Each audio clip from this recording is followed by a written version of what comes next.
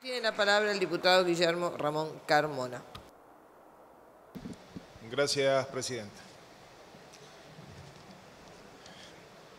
Estamos, Presidenta, ante un presupuesto que remite al pasado. No es un presupuesto de futuro. Este presupuesto no nos habla de futuro ni en el corto, ni en el mediano, ni en el largo plazo para el pueblo argentino. El año próximo no va a ser un buen año para el pueblo argentino, Presidenta.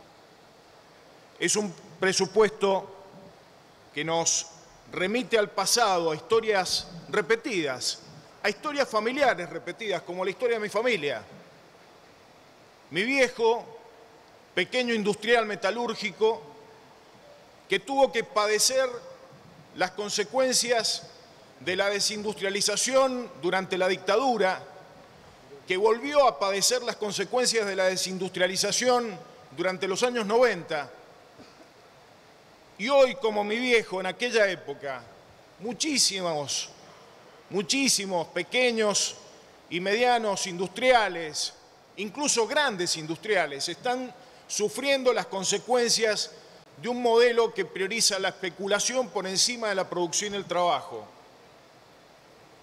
Vengo de una provincia, Presidenta, que está quebrada, una provincia rica, una provincia pujante, que tiene su actividad frutícola destruida, no da para más. La actividad vitivinícola solamente se salvan los grandes, los seis grandes, y algunos que logran articular con esos seis grandes, los pequeños y medianos productores vitivinícolas quebrados, la actividad hidrocarburífera que ha caído la primera vez que cae en producción en los últimos 20 años, Presidenta.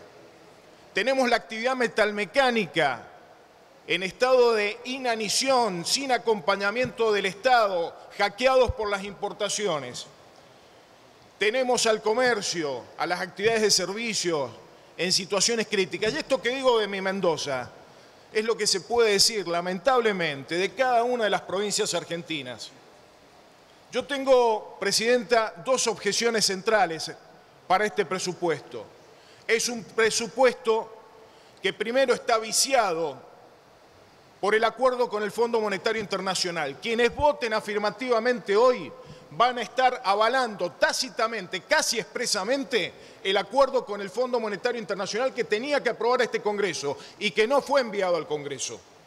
En segundo lugar, es un presupuesto que proyecta la estanflación ya existente, recesión con inflación. El mejor escenario que planea el gobierno para el año que viene es solo recesión, con una baja inflación, cosa que no van a lograr además. Un escenario de muerte para la economía argentina, Presidenta. Yo lamento que en este momento, muy probablemente, estemos teniendo una enorme pérdida de oportunidad. La pérdida de oportunidad de que la oposición a la que yo pertenezco planteara el presupuesto de futuro que necesita la Argentina, que tiene que ser un presupuesto para la mayoría, no para unos pocos como está planteado en este caso. Un presupuesto para la producción y el trabajo, no para la especulación. Y lamento que no hayamos tenido la capacidad todavía de hacer lo que tenemos que hacer, juntarnos, ponernos de acuerdo, plantear las alternativas superadoras y votarlas aquí, un presupuesto democrático de la mayoría de oposición que tenemos en esta Cámara de Diputados. Lo lamento sinceramente, pero eh, tengo esperanza, Presidenta, tengo esperanza de que vamos a hacer lo que tenemos que hacer para que entre octubre y diciembre del año próximo desalojemos del gobierno a este gobierno de entrega. Estamos yo quiero introducir una cuestión muy brevemente, Presidenta, pero que es necesario decirlo. Este año hemos tenido cinco sesiones, cinco, en cinco ocasiones sesionó esta Cámara de Diputados.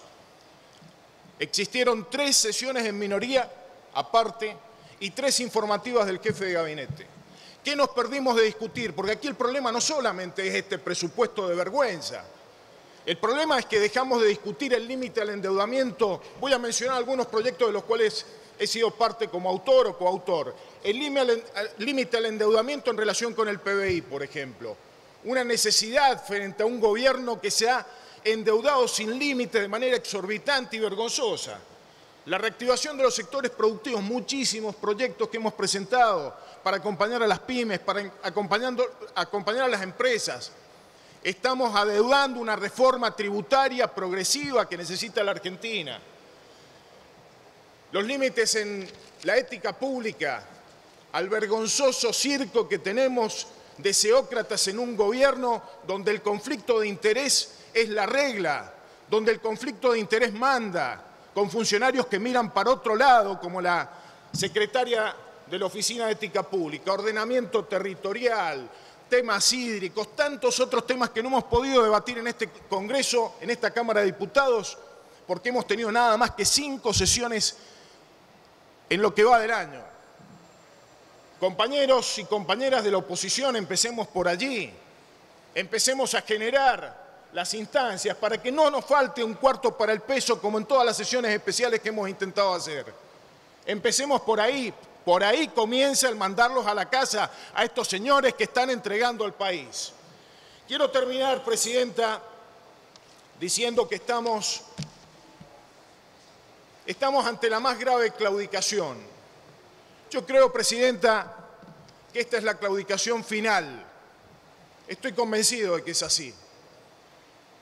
A partir de la aprobación de este presupuesto vamos a tener no un gobierno, vamos a tener una caricatura de gobierno, vergonzosa, una caricatura triste de un gobierno que ingresó con la legitimidad democrática, pero que se está yendo en este último año que le queda en una situación de abandono de las causas populares. Estamos ante un gobierno, hizo alguna referencia Ciampini, que abrevan la peor tradición argentina, en la de Alvear, el primer Alvear, Carlos María, el que está homenajeado por los británicos en el monumento frente a la Facultad de Derecho.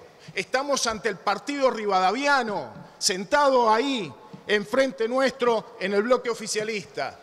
Estamos ante los mitristas, los mitristas que decidieron abrir la Argentina a las novedades del mundo. Estamos ante los que han aplicado las políticas oligárquicas de los principios del siglo XX. Estamos ante aquellos que en la década infame impusieron un liberalismo salvaje. Estamos ante los que imitan el modelo económico que se aplicó en la dictadura militar en la Argentina y en la época del menemismo. Nosotros no queremos eso, Presidenta. Nosotros queremos un gobierno, un Congreso en donde se gobierne para la mayoría, no en favor de unos pocos. Espero que seamos capaces, en este año y poco tiempo más que le queda al actual gobierno, de generar las alternativas para tener verdaderamente un gobierno popular, un gobierno que responda a las necesidades del pueblo argentino. Muchas gracias.